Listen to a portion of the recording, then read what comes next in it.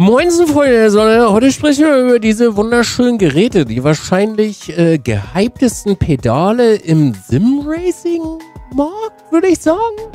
Und zwar sind das die äh, VHS-Pedale. Irgendwie gefühlt immer ständig ausverkauft und gefühlt jeder möchte die fahren.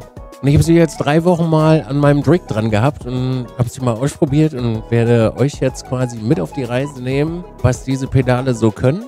Ob sie wirklich so gehypt sein sollten und ob der Preis gerechtfertigt ist. Also, Abfahrt, du. Das Unboxing habt ihr ja zu den VHS-Pedalen schon gesehen. Also, das war wirklich einfach nur roh auspacken, gucken, erster Eindruck. Und äh, jetzt bin ich die guten Dinger mal drei Wochen erfahren. Zwei intensiv. Eine davon war ich im Urlaub, also ich war drei Wochen am Rig, aber zwei Wochen bin ich sie sehr intensiv gefahren. Mit Endurance-Rennen. Sogar zwei andere Leute sind sie gefahren und ich glaube irgendwas bei 20, 30, 40 Stunden äh, reine Fahrzeit. Was kann ich jetzt nun also zu den äh, VHS-Pedalen sagen? Erstmal, das hier habe ich wirklich gedacht, ist am Anfang eine sehr komische Sache, dass man diesen, ja, diese Box irgendwie noch extra dabei hat, aber irgendwie am Ende hat es eigentlich gar nicht gestört. Also du knallst hier deine beiden Kabel rein von den äh, Pedalen, die jeweils dran sind, was ich sehr schön finde, dass es LAN-Kabel sind, also Cut und sie ihren Zweck erfüllen. Und äh, die Box hat gar nicht gestört. Also im Endeffekt ist das sogar ziemlich cool, dass das nicht hier dran ist, sondern dass wirklich nur mechanische Teile sind. Und zu den mechanischen Teilen kommen wir mal. Sprechen wir mal über das äh, Gaspedal an dieser Stelle. Diese Feder, die macht mich fertig. Warum ist die so krumm? Was soll das? Aber es funktioniert. Also es ist tadellos. Es gibt keinerlei Probleme damit. Es ist äh, doch sehr human von der von der Druckkraft. Also falls jemand was Stärkeres sucht, mh, mm, ich denke, das hier ist doch sehr zärtlich, würde ich sagen, beim Drücken. Also nicht wirklich viel Widerstand. Es ist aber völlig ausreichend und total fein. Äh, von den Einstellungsmöglichkeiten her, ähm, beim, äh, beim Gaspedal habe ich nicht wirklich viel gemacht, außer dass ich äh, diese, ja, ich nenne sie immer gerne die Fußablage oder die ja, Tretablage habe ich jetzt ein bisschen äh, weiter nach vorne gestellt, weil meine Pedale in meinem Rig immer so ein bisschen nach hinten gekippt sind, weil ich das persönlich ein bisschen schöner finde, von oben drauf zu treten. Also mehr auch wie in einem Auto. Und deswegen sind sie hier so ein bisschen weiter vor, damit sie quasi sich genauso anschmiegen an meinem Fuß. Und das ging wirklich super easy peasy. Also es war hier an der Seite einfach zwei Schrauben lösen, das hindrehen, Schrauben wieder festmachen und fertig war der Bums. Den Rest äh, habe ich standardmäßig gelassen. Also ich hätte jetzt hier den Pedalweg an äh, der Schraube hätte ich noch verändern können und das etwas nach oben schieben können. Aber den Pedalweg fand ich äh, sehr schön. Also er hätte für mich, für mich war er wirklich optimal. Also man könnte ihn jetzt noch verkürzen und man könnte ihn auch noch verlängern. Aber das war für mich nicht notwendig. Also das Gaspedal, muss ich ganz ehrlich sagen, fand ich am schönsten beim Startfahren. Ich konnte mit diesen Pedalen irgendwie bessere Starts fahren, weil ich die durch dieses, dass es so leicht war, konnte ich die Geschwindigkeit besser halten. Also das war zum Beispiel im Gegensatz im Vergleich zu meinen Invictas, die ich seit anderthalb Jahren fahre, am Gaspedal viel, viel besser. Also da habe ich jetzt nicht so das Gefühl gehabt, dass ich äh, was vermisse, sondern sogar eher noch Pluspunkte sammle. Das klingt jetzt super bescheuert, aber das ist so eine Sache, die mir aufgefallen ist. Falls jetzt übrigens jemand erwartet, dass wir das Ding hier komplett auseinanderbauen und ich euch alle elektronischen Teile erkläre und was in dieser Box drin ist und äh, was hier vorne dran ist, das gibt's hier leider nicht auf diesem Kanal, denn ich erzähle dir einfach nur aus meiner Sicht als äh, ganz normaler Fahrer, wie sich die Pedale anfühlen und was du erwarten kannst und was du einstellen kannst. Also weiter zur Bremse, denn das Gaspedal, so wie es ist, schauen wir uns mal die Bremse an. Das hier ist eine der interessantesten, geilsten, aber auch irgendwie für mich persönlich nicht passendsten Bremsen, die es gibt. Man kann hier richtig mit Schmackes und volles Cartoon reintreten. Meine Bedenken, die ich am Anfang hatte, dass hier eventuell irgendwas kaputt gehen könnte, haben sich nicht bestätigt. Das Ding läuft breeze. Also wirklich unglaublich gut, total schön und es fühlt sich auch noch geil an. Aber, und jetzt kommt das kleine bis mittelschwere Aber. Hier geht zwar viel auch in dem Pedal um Kraft, aber auch sehr viel Weg. Und ich bin nicht so ein Freund von sehr viel Weg. Und meine Katze ist auch nicht so ein Freund von Weg, deswegen möchte auch gerne nochmal vorbeikommen und auch an dieser Review teilnehmen. Was ich damit meine ist, äh, dass diese Pedale, also sie sind jetzt schon sehr hart eingestellt, aber für mich persönlich, äh, ne, wenn ihr hier mal seht an der Seite, man kann sie mit der Hand bewegen. Das wäre bei meinen persönlich drüben äh, nicht machbar. Und bei meinen Invictas trete ich persönlich in eine Wand rein. Ne? Da ist irgendwann einfach Feierabend, da bewegt sich nichts. Aber hier hinten ist noch sehr viel Spiel drin. Ich möchte extra hier an der Stelle anführen, das ist persönliche Präferenz. Ne? Also für meine Bedürfnisse, die ich habe, passt diese Pedale leider nicht. Ich habe sehr viele Hinweise bekommen, dass man die Federn noch tauschen könnte gegen eine gelbe und das dann an der Stelle etwas äh, stärker wäre. Und das äh, könnte man ausprobieren und die Möglichkeit habe ich auch noch, das irgendwann mal auszuprobieren, denn diese Pedale bleiben hier, weil ich möchte sie gerne nochmal mit der äh, Feder testen, weil ich finde die wirklich grandios. Nur sind sie für meine Bedürfnisse nicht gut. Aber jetzt mal zu der Erklärung, was hier alles gemacht wurde. Ich habe zum Beispiel hier oben an dem Schaft habe ich meine Vorspannung etwas äh, verstärkt. Also normalerweise kann man hier noch sehr viel mehr mit den Händen machen, wenn sie standardmäßig zu dir nach Hause kommen. Hast du hier sehr viel Spiel drin. Mir persönlich gefällt das aber nicht sehr gut. Muss ich ganz ehrlich zugeben, habe ich ein bisschen Schwierigkeit mit das, weil ich habe nur beim Fuß rauflegen, löst diese Bremse aus, so zärtlich ist sie. Was auf eine gewisse Art und Weise total geil ist für Menschen, die nicht so viel da reinstrampeln wollen, sondern so geschmeidige Sockenfahrer sind oder auch einfach so grundsätzlich so ein paar gemütliche Typen sind und nicht immer mit roher Gewalt in die Pedale müssen. Definitiv ein Banger. Ist genauso wie die Bremse, äh, wie das Gaspedal. Mm, ist einfach ein Gedicht und es macht super viel Spaß. Da quietscht nichts, da knarzt nichts. Da kannst du wirklich volles Brikett reintreten oder geschmeidig machen und alles ist Töfte. Für mich, wie gesagt, ein bisschen wenig Vorspannung. Ich bin hier schon auf dem Maximum. Ich habe das ausgemessen, also das, was VHS empfiehlt, habe ich hier oben eingestellt. Mehr ist da leider nicht mehr drin. Was man natürlich am Ende noch machen könnte, wäre äh, beispielsweise die Feder wechseln, was ich schon sagte. Habe ich jetzt aber davon erstmal abgesehen, weil ich das so out of the box testen möchte.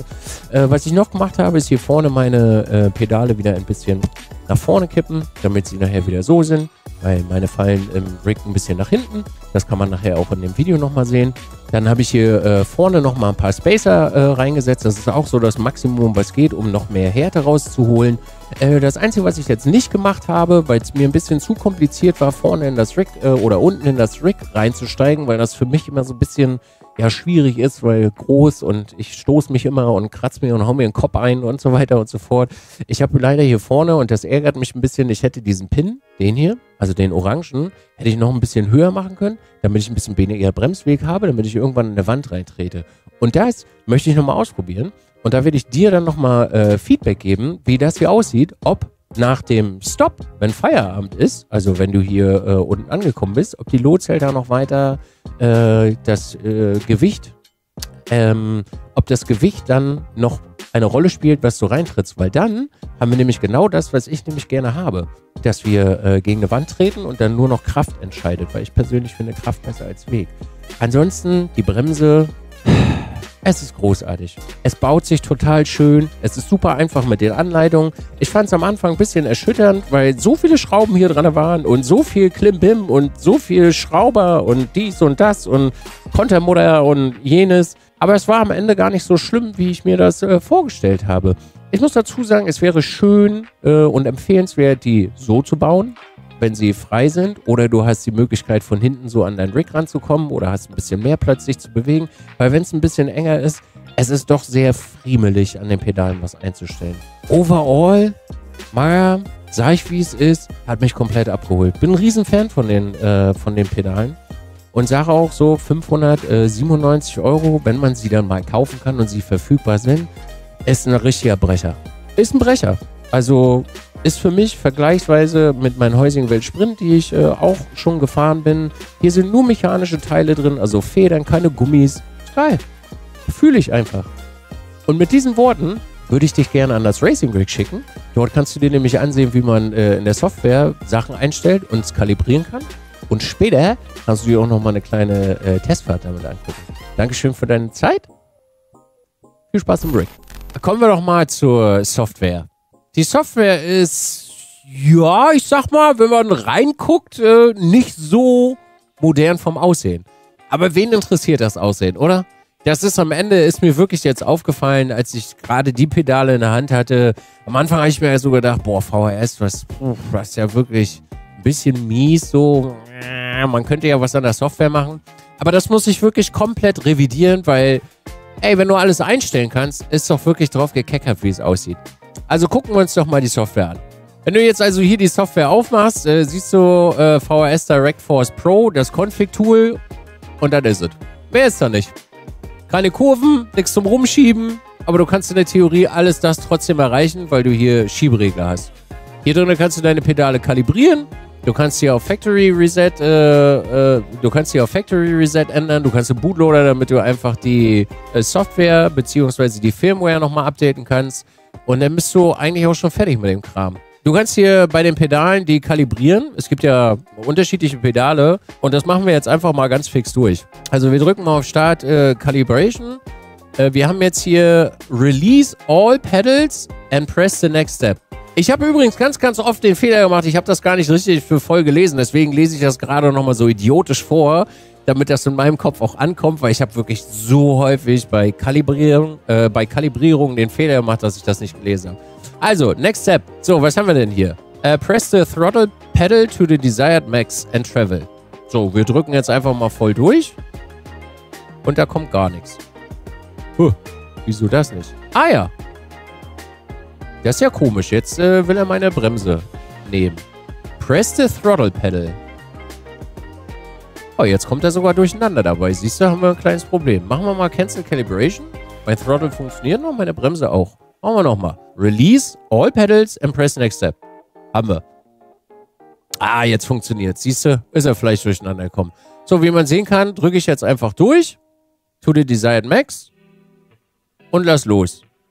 Und dann soll ich das einfach loslassen. Ne? Release the, uh, release the throttle pedal to a neutral position. Habe ich auch gemacht. Drücke ich next. Dann habe ich bei der Bremse, drücke ich jetzt auch noch einfach nochmal durch. Ich drücke jetzt mal bei 60% so rein. Das äh, ist für mich gemütlich.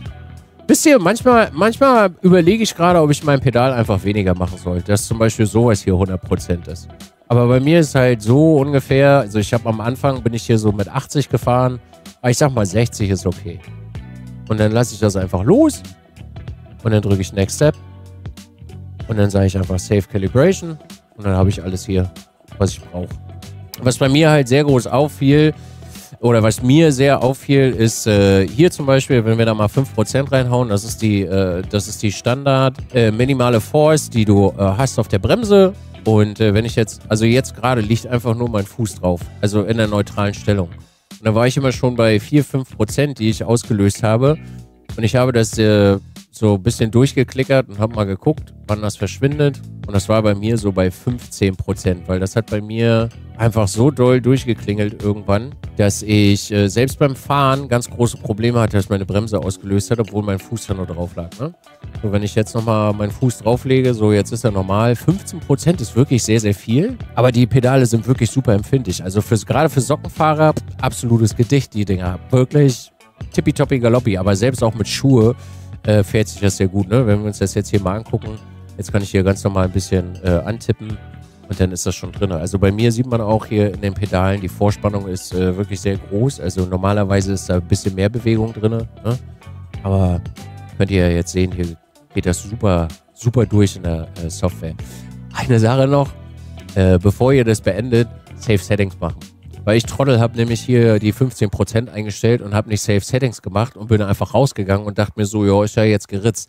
Also einfach mal Safe Settings machen, äh, Software zumachen und dann bist du fertig. Dann kannst du hier halt für dich noch deine Kurven einstellen, ne? Also ob du jetzt beispielsweise eine, eine lineare Kurve haben möchtest, so wie das hier ist. Ich bremse meistens äh, linear oder eine geschwungene Kurve haben möchtest. Oder wenn du jetzt, weiß ich nicht, in iRacing fährst, dass du nicht bis 100% hochbremst, dass du hier sagst, du gehst bis äh, 95% hoch und ansonsten kannst du hier auch äh, nichts weiter einstellen. Ich habe mich am Anfang ich mich ein bisschen geärgert, weil ich sehr gerne wissen wollen würde, wie viel Bremskraft ich denn aufwende und also wie viel Kilos ich da reindrücke, weil ich versuche immer in, in Kilo meine Bremse einzustellen, weil meine ähm, Heusingwelt haben das damals gemacht, als auch meine Invictas mittlerweile. Da kann man das einigermaßen mit einer Zahl, sag ich mal, gleichsetzen. Das fehlt mir hier leider in der Software. Das würde ich sehr, sehr schön finden, wenn VRS das eventuell noch mit hinzufügen könnte, dass man sehen kann, wie viele Kilos man reindrückt. Weil jetzt haben wir hier einfach nur eine Prozentzahl.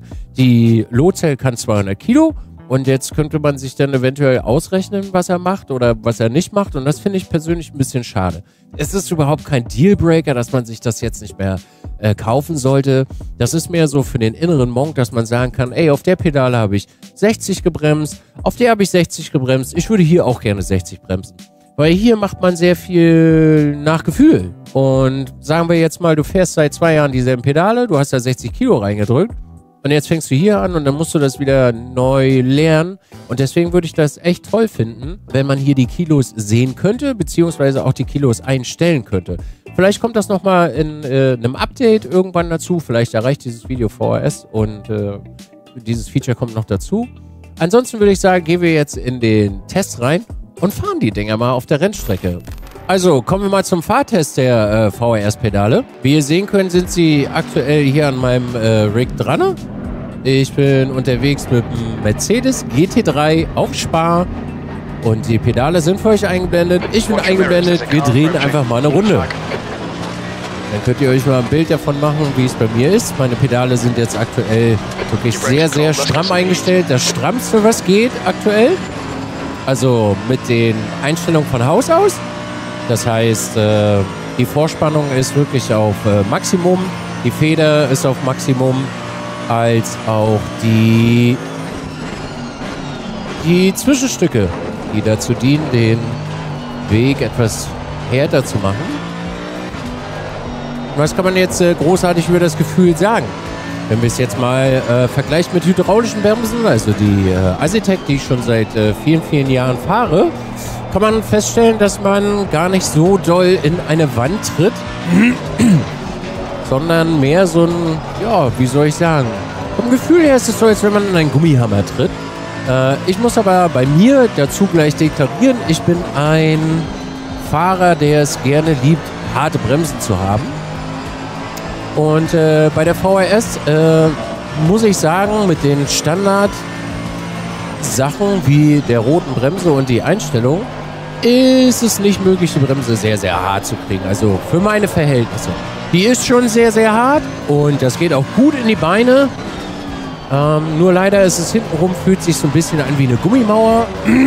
Oder ja, doch schon wie so eine Gummimauer, in die man reintritt. Aber sind unglaublich geil. Sie treffen nur meinen persönlichen Stil. Leider nicht wirklich. Also ich persönlich äh, bin jetzt vom Gefühl her nicht ein großer Fan. Aber die Pedale sind wirklich unfassbar geil für das, was man machen kann.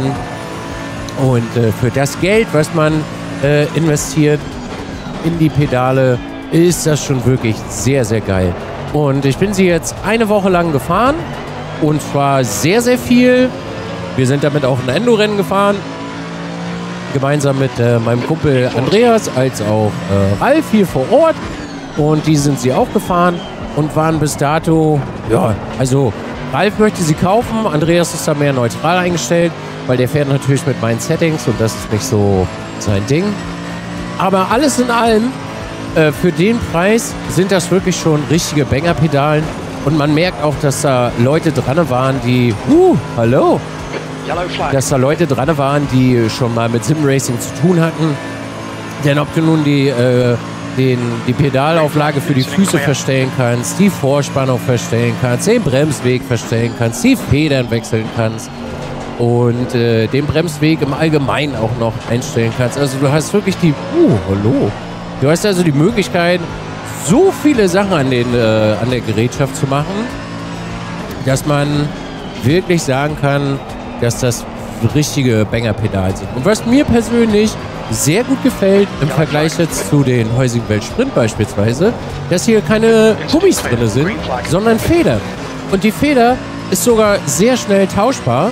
Ich denke aber, dass Federn, naja, äh, weniger schnell abnutzen als Gummi. Das heißt, du hast hier wirklich nur mechanische Teile drin. Und das finde ich total, äh, das finde ich total geil. Was kann ich von den Rundenzeiten jetzt sagen? Ich war jetzt nicht unbedingt schneller, ich war aber auch nicht langsamer. Also ich konnte mich jetzt binnen einer Woche super easy daran gewöhnen.